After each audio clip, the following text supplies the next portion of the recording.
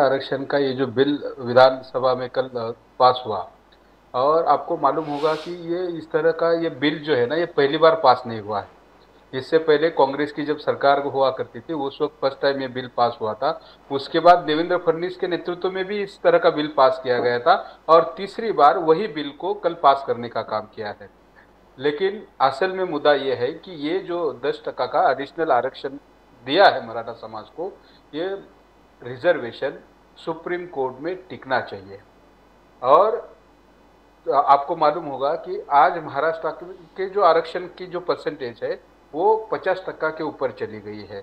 और कई राज्यों ने इस तरह के जो निर्णय लिए थे, उस निर्णय के ऊपर सुप्रीम कोर्ट ने ऐसा कहा था कि स्टेट को इस तरह से एडिशनल आरक्षण देने का अधिकार नहीं है। और इसके कारण कर्नाटक हो, पंजाब हो तेलंगाना हो, आंध्र प्रदेश हो है कैसे पंजाब, आए सारे राज्यों के जो एडिशनल आरक्षण का, जो 50 टका के ऊपर की जो कैप गई थी, उसको सुप्रीम कोर्ट में स्टे दिया गया है और उसके ऊपर आज सुनवाई चल रही है।